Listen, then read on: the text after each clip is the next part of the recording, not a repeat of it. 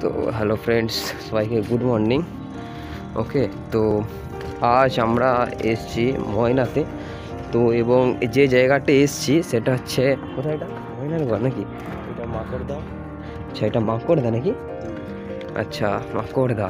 মানে মোটামুটি এটা ময়নার ঘরই নাম জানি। এবার কী এবার সে তাদের যেটা জায়গা এলাকা তারাই জানে। ওকে তো আপনারা ওপেন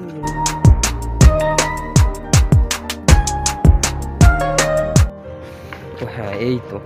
তো এটা কি? এটা? এটা রাস মন্দির। আচ্ছা এটা রাস মন্দির। জানি না চলুন আপনাদেরকে দেখাচ্ছি। সবগুলো থাকুন সবই দেখাবো।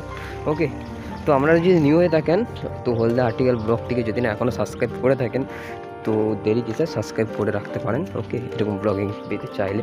তো ফ্রেন্ডস চলুন যাওয়া যাক। আমাদেরকে আজকের একটি অন্য জায়গায় নিয়ে যাব যেটা খুবই ময়নার ফেমাস জায়গা। ফেমাস তো?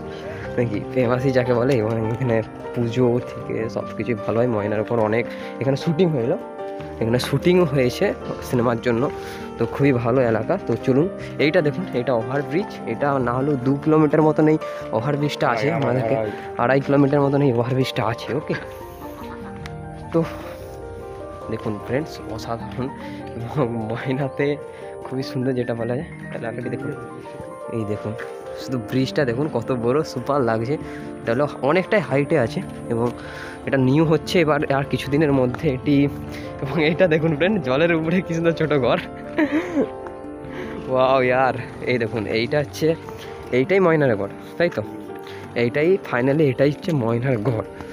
বল যে ওকে এটা হলো গোটা জলের মাঝখানে সেটাই সেটাই।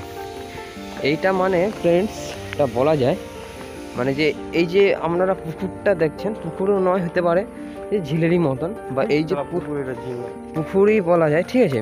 খুব বড় যেটা বলে এটা পুরোটা রাউন্ড করা আছে ঠিক আছে? পুরোটা রাউন্ড করা আছে। এই পুরো রাউন্ডে মিডিলে একটা দ্বীপের মতন আছে ওকে? সেটাকে হচ্ছে ময়নারগড় যেটা রাজারা থাকতো। তো চলুন আমাদেরকে দেখাচ্ছি। এই দেখুন এই যে পুরো এই যে জায়গাটি আছে পুরো জায়গাটি এই পুরো জায়গাটির মিডিলে ওই যে দ্বীপটা আছে দেখুন ওখানে রাজারই আছে আমি যদি ভিতরে ঢুক ঢুক ভিতরে ঢুকি।